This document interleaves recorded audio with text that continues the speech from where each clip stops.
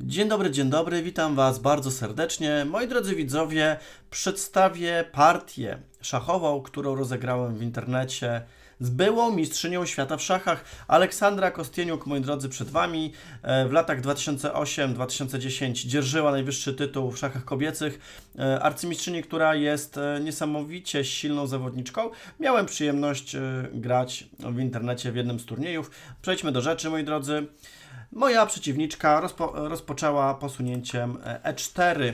Postanowiłem tutaj zagrać po prostu ruch C5, obronę sycylijską, żeby e, próbować grać ostro z zawodniczką i nie dać jej tutaj e, pola do popisu, chociaż e, może źle się wyrażam, ale chciałem grać po prostu w szachy ostro.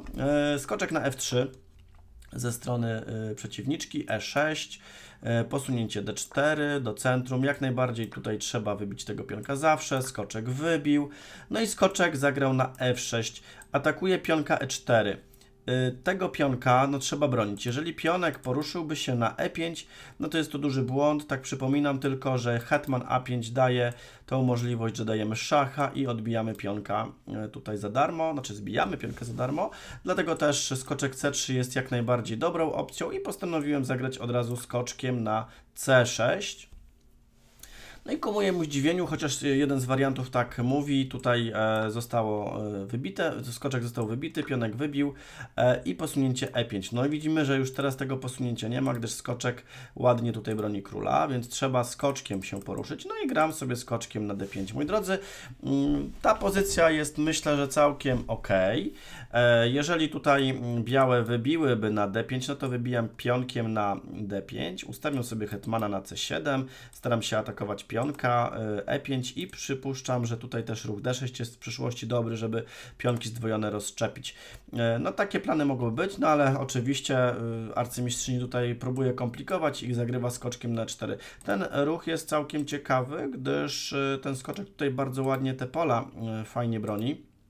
No ale warianty tutaj, moi drodzy, są nieźle rozpracowane, więc to też nie jest takie proste. Oczywiście, jak ktoś czarnymi nie wie, jak grać, ja jeszcze nie zaliczam się do tych, co super grają takie te pozycje, ale jak kompletnie nie wiemy, co grać, to może być problem. No ale to jest jeden z debiutów, e, wariantów. E, zagrałem po prostu C5. Postanowiłem zagrać C5, żeby e, tego gońca szybciutko tutaj wyprowadzić. Prawdopodobnie tutaj dobrą opcją byłoby zagranie od razu hetmanem na C7, żeby atakować tego pionka na E5 stępem, a dopiero potem można było próbować C5. No ale cóż, tak sobie tutaj pomyślałem, że zagram od razu, żeby gońca oswobodzić, żeby miał goniec tutaj wolną drogę. Goniec E2 no dobra, tutaj też e, takim posunięciem C4 mogło mnie przeciwniczka potraktować. Skoczek musiałby zagrać na B4, potem jakaś opcja powrotu na C6, no i takie, że tak powiem, suwanie mm, tych figur, przestawianie tych figur, ale myślę, że dosyć ciekawa e, gra. Goniec E2, goniec B7, moi drodzy, roszada, chowamy króla, hetman C7 zagrałem teraz i F4. No właśnie, jest F4, jest atak, y, jest obrona, przepraszam, pionka. No i teraz y, jaki ruch tutaj y, należy wykonać? Na szczęście mm, powiem tak, udało mi się ten ruch wykonać. Pamiętałem o co tutaj mniej więcej chodzi. E, w tej sytuacji przede wszystkim taki ruch C4 się bardzo przydaje, gdyż ten goniec ma więcej swobody. Znaczy czasem może na C5 się poruszyć, ale ten ruch przede wszystkim też blokuje troszkę tego gońca, troszeczkę wydłużamy linię C, oj przepraszam najmocniej, linia C jest troszeczkę wydłużana e, i to jest myślę, że bardzo istotne posunięcie.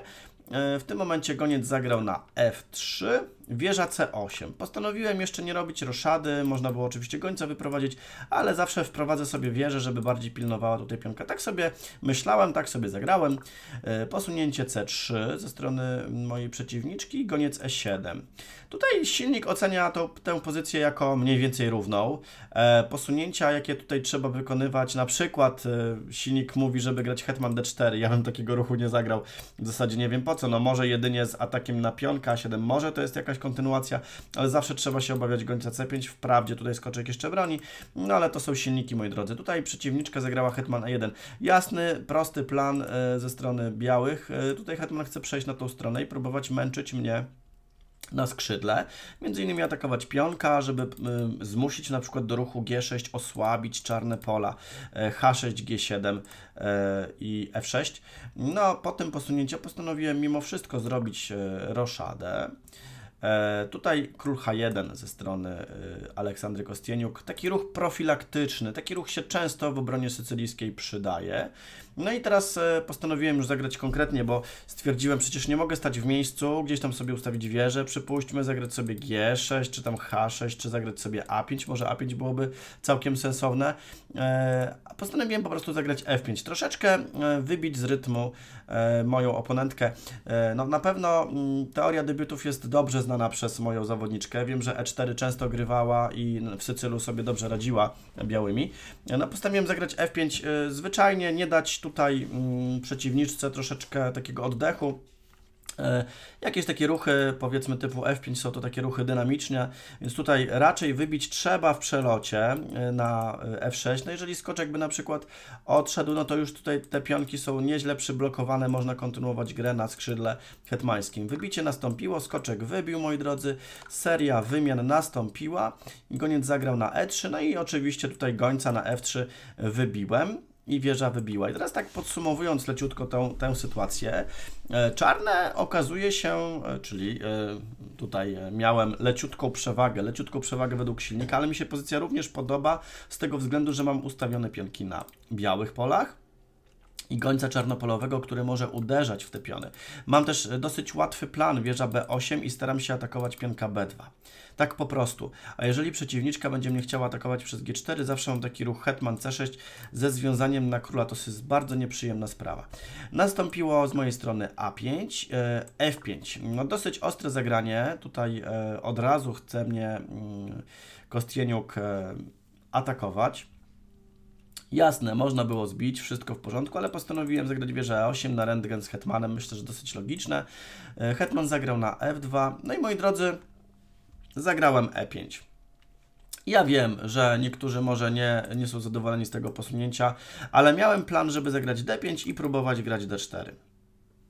Tak mi się tutaj ubzdurało w głowie. Nie, nie jest to najgorszy ruch oczywiście. Też e, opcja E4 szybkiego jest. Chodzi o to, że ten goniec troszeczkę stał się takim dużym pionkiem. No ale figura to figura. Tutaj poszło G4. No i teraz e, właśnie postanowiłem szybciutko związać tą wieżę bez namysłu. Graliśmy na 3 minuty, więc mm, tutaj też e, trzeba podejmować decyzje szybkie. Okazuje się, że ten ruch do najlepszych nie należał, gdyż e, tutaj można zagrać G5, moi drodzy, na przykład goniec D8, tak sobie planowałem. F6 nie można dalej kontynuować, bo bije do końca i bije goniec na samym końcu. No, postarajmy, sobie, e, postarajmy się tutaj to wyobrazić. Król nieco odkryty, ale on zawsze się chowa na H8 i w miarę bezpiecznie chyba tutaj to stoi, chociaż e, białe nie powinny tak szybko grać F6. No po G5 jeszcze raz goniec D8. Tutaj można by było na przykład hetman G2 zagrać, żeby obronić się od tego związania i kontynuować atak pionkami. No to dosyć groźnie wyglądało i było dosyć groźne. Dziwię się, że tak zawodniczka nie zagrała, ale postanowiła najpierw zagrać hetman G2, no ale dało mi to czas na posunięcie H6, moi drodzy. No H6 jest ruchem, który wszystko trzyma. G5 nie można, gdyż to wszystko bije do końca. Jeżeli będzie bicie do końca, hetman bije do końca, no to na końcu jest wieża na F3, która wisi. Dlatego też wieża zagrała na F1 e, i postanowiłem zagrać królem na F7. Taki ruch... Nieco e, może dziwne dla niektórych, ale e, już miałem w planach, że jak będzie G5, wybiję, goniec wybiję i zostawiam to w miejscu, to sobie zagram wieżą na H8 i tam będę próbował coś szarpać, po prostu zająć wolną linię. E, hetman zagrał na H3 i w końcu udało mi się zagrać D5. Już mam konkretną groźbę D4. Hetman dał szacha, moi drodzy, i królew 8. No i ku mojemu zdziwieniu, e, chociaż ten ruch jest e, całkiem uzasadniony, jest wielka prowokacja na to, żeby zbić tutaj pionka na H6. Zastanawiam się, czy byście ten ruch wykonali w partii. Myślę, że w blicu, w takich szybkich szachach można wykonać. Tak też właśnie się dzieje. E, powiem szczerze, nieco się ucieszyłem na to posunięcie, no ale e, oczywiście poszło wybicie, już pokazuję o co chodzi. Zagrałem tak. Moja zawodniczka teraz zbiła na C6. Niestety nie był to dla niej dobry ruch, gdyż e, jak się wymienił hetmany, no to z ataku mogą być nici. Tutaj takim dobrym ruchem byłoby zagranie H5. Okazuje się, tutaj akurat silniki bardzo pomogły, jedyne obronne posunięcie, chociaż ciężko taki ruch zagrać z jednej strony, ale jedyne obronne posunięcie to jest hetman H6. Innych lepszych ruchów, e, moi drodzy, nie ma, gdyż tutaj ta falanga pionów idzie na na mnie i król ma bardzo duże kłopoty. Trzeba zagrać tak, żeby hetmana obronić, ale e, króla obronić, ale jest ruch F6. No i należy wybić, tutaj by było wybicie z szachem, pionek wybi wybił i na przykład wieża C7, żeby nie było szacha na F7. I ta pozycja, ta końcówka wieżowa jest... E, oceniana jako totalnie równa, z czego też trzeba być zadowolonym, ale myślę, że praktyczne szanse czarne tutaj mają mimo straty piona, gdyż ustawić wieżę na d7 i próbować tymi pionkami tam maszerować. Takie praktyczne szanse, szanse czyli takie powiedzmy e, granie e, dosyć łatwe. No, białe, musiał, białe musiałyby się na pewno wykazać tutaj jakimiś e, mocnymi, jedynymi posunięciami. E, no cóż, tak nie poszło, moi drodzy. Moja przeciwniczka wybiła tego hetmana, wybiłem również i poszło f6, no niby groźny ruch, ale jest niestety goniec na h6, niestety dla e, mojej przeciwniczki h4 i goniec f4 od razu zamyka te dwie wieże. Oczywiście liczyłem się z wybiciem na f4, ale wieża więcej, tutaj myślę, że nawet z tymi pionkami e, poradziłaby sobie bez problemu, czarnymi byśmy sobie poradzili. G5 nastąpiło i konieczny jest ruch e, król f7, żeby tutaj bronić na g6. Król zagrał na g2 w tym momencie i wieża na b6. Tutaj mogłem też próbować e, ustawić po prostu wieżę na h8 i trzymać tego pionka, ale postanowiłem szukać aktywności, no, tak troszkę zaryzykowałem, też mieliśmy tutaj troszkę mniej czasu. W tym momencie ja miałem minutę 50, chociaż to jest dosyć duża, moja przeciwniczka minutę i 8 sekund. Wieża zagrała na F2 z obroną, e, druga wieża oczywiście na B8, król zagrał na H3, no trzeba iść królem tutaj próbować grać pionem do przodu. No od razu wybiłem się, nawet nie zastanawiałem, król zagrał na G4, wybiłem na F2, wymiany są tutaj dosyć istotne dla mnie i postanowiłem zagrać dosyć agresywnie i szybko, chociaż taki ruch jak król E6 załatwiałby raczej sprawę, nie wpuszczając tutaj króla, a cały czas pilnuje pola F6. No zagrałem D4 dosyć szybko, nonszalancko powiedzmy, e, no ale troszeczkę zabrałem dałem czasu y, mojej oponentce. Tutaj poszło bicie i zagrałem ruch C3. Kolejne bicie nastąpiło, no i można powiedzieć, że cztery pionki wolne robi się dosyć groźnie. Miałem w planach zagranie takiego posunięcia goniec D2.